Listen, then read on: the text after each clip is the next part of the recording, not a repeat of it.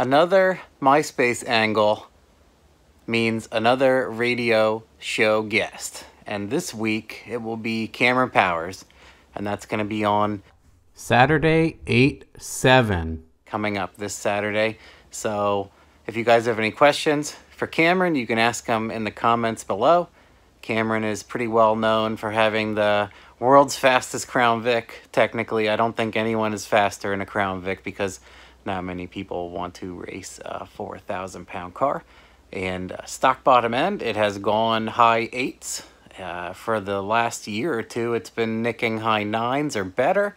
So it is a case study in how to keep one alive at a heavier weight and uh, maximize a combo. He and I have spent a lot of time uh, slowly creeping up on that and investigating usage of parts and everything else to get it there. And I think three different turbo kits, uh, you know, a lot of combinations and computers and everything you can think of. So he also runs a transmission shop, so you guys can ask transmission questions and Crown Vic questions and stock bottom end questions and everything else you can think about. So that's who's going to be on. Ask your questions. Okay, thanks, bye.